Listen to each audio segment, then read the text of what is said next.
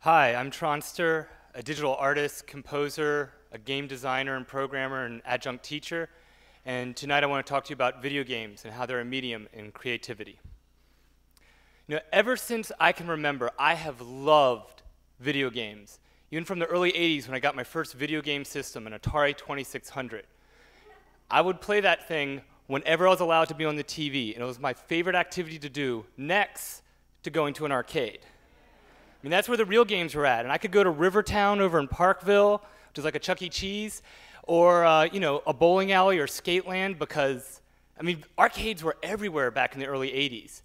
And I didn't really notice that arcade games were starting to diminish around me because I would just buy new console games and keep playing video games. I was oblivious to all the people who said video games are a fad. But they were right. In 1985, video games had a huge crash, at least in the United States.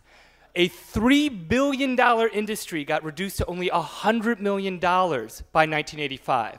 But an amazing thing happened.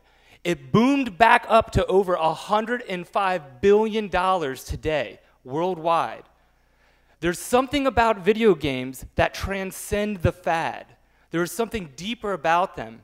And I was wondering, what is it about video games that draw us to them? What is it about video games that has us still putting out money for them, that has us playing them?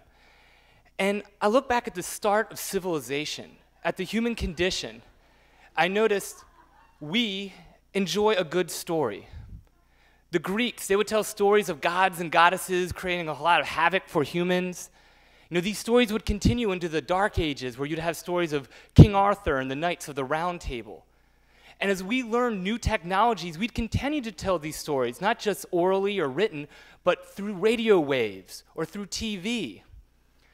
And only about over 100 years ago did we start to go and create movies that we could send out to tell these stories. In the beginning, they were crude. They were simple, quick black and white cuts, and the effects were very cheesy.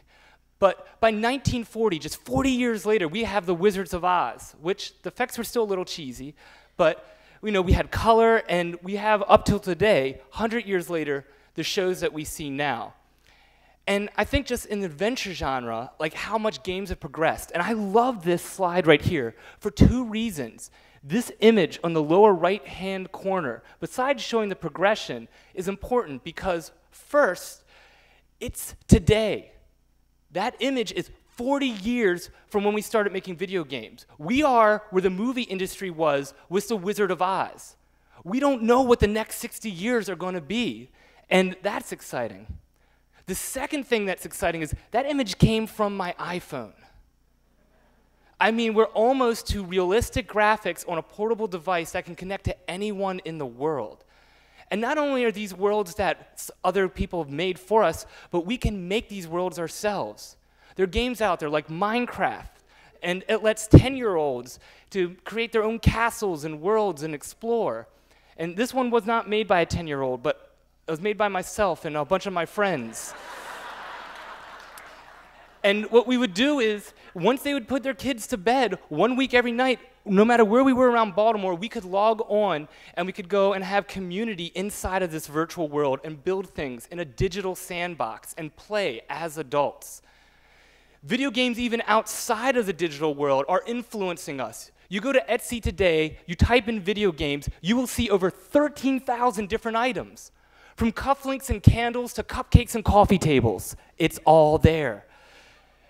And video games are not just surface level craft items. I mean, people, for the most important day of their lives, will go and have video game inspired wedding invitations or proposals.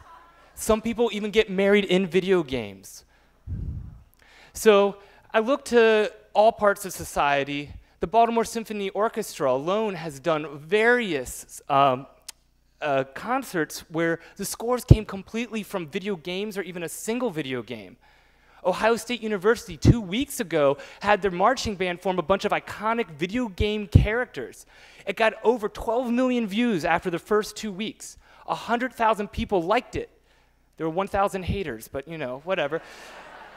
You know, video games the last 40 years have been so important to us. The Smithsonian just finished the Art of Games exhibit, which is now traveling around the world.